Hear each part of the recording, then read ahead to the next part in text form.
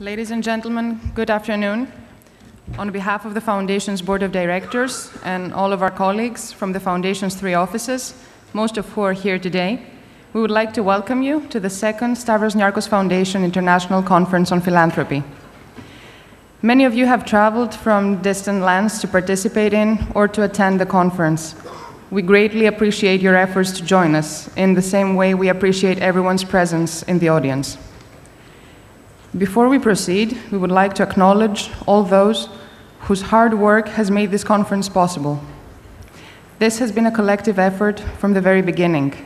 It would not have been possible otherwise. Special thanks go to our colleagues Asimina, Elenia, Titika, Thanasis, George, Ioanna for putting this together as well as to all of our colleagues in the Foundation's programs departments for helping us identify the topic and shape the conference. We see these conferences as a great opportunity to bring together colleagues from the philanthropic sector, both from the giving and the receiving end of it, as well as others who have dedicated their lives to public service, to exchange ideas and to work together to maximize our collective input. But these conferences also complement and expand upon our Foundation's work. The main theoretical premise of this year's conference, the notion of the social welfare society, is that needs are so much greater that require the, con the convergence of the public, private, and philanthropic sectors in order to effectively address them.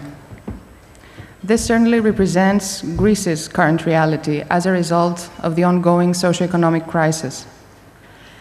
At a time when the state's diminishing ability to provide social welfare services is greatly impacting society, the Foundation, through its additional $130 million grant to assist against the crisis, is complementing the state's declining input. In a little over than a year and a half, the Foundation has committed grants totaling $75 million as part of this initiative, which is in addition to the Foundation's standard grant making activities around the world. One may argue that public private partnerships fit within the overall concept of a social welfare society and are exceedingly becoming an effective way to address large scale social challenges and to create valuable input. Today, many of you visited the construction site of the Stavros Niarchos Foundation Cultural Center. With a total cost of $796 million, the project is the Foundation's largest single gift, and it includes new facilities for the Greek National Opera and the National Library of Greece and a large public park. It is the largest ever public private partnership of its kind in Greece, an engine of short to long term economic stimulus and a testament to the country's future. Good afternoon and welcome. There is a Greek proverb that says, if you don't praise your house, it will collapse upon you and kill you. So if you allow me for a minute, I will praise our house. As Lenia said, a lot of our colleagues have worked very hard in all three offices to make this happen. But this would have not taken place today, it would have not been possible without Lenia herself. She's one of the most hardworking people I have ever met, this is a very complicated event to put together, and she took care of every single detail. I want to thank her personally, and I think no. she deserves our applause.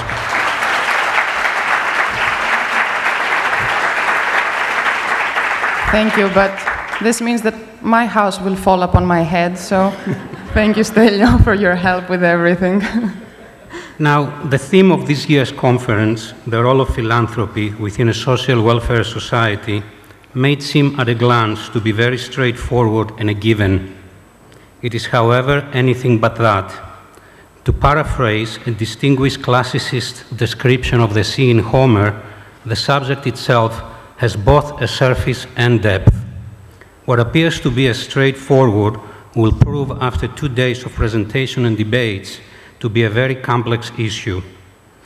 The parameters that define its sectors, the public, private philanthropic participation and role in the provision of public services have been determined over a very long period of time and are situation specific. The notion of collaboration between all three principles for the sake of pursuing and offering pragmatic and effective public services is ideal. but the path to its realization rather arduous and treacherous since it requires redefining roles and changing traditional assumptions. A lot is at stake, there is no doubt about that. It is our hope that what will follow today and tomorrow will provide a framework for everyone to begin collaborating and considering seriously the implications and potential of such a major shift. During the next day and a half, we will meet in plenary sessions as well as breakout sessions. Participation in the breakout sessions is on a first come, first served basis due to limited room capacity. Following today's breakout sessions, please gather back in this room for a presentation by the Greek Minister of Tourism before we wrap up for today. We will not have any breaks today, but coffee will be served throughout the afternoon. The entire conference is being live streamed on the Foundation's website, snf.org, where, all related material and videos will also be available from next week on. Finally, please note that all excess food from today's and tomorrow's lunches and coffee breaks will be donated to organizations in need through our grantee, Boroume. Thank you for your attention. Let's hope we all have a productive conference